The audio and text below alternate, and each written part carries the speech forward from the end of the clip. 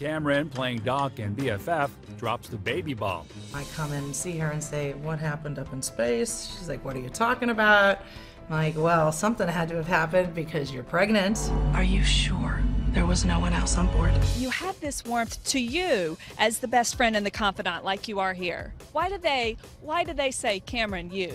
Who do you want in your foxhole? Who can you count on? I come in prepared, I come in with love and gratitude, and I I give it all I have. The 53 year old mom of a teenage son is no stranger to playing the friend. She was the soul of TV's The Practice, which won her an Emmy, and Jennifer Love Hewitt's bestie on Ghost Whisperer. And now, in Extant, she's definitely looking out for Halle, but nothing is simple in this sci fi thriller. What you think is true, who you think has your back. It's very interesting.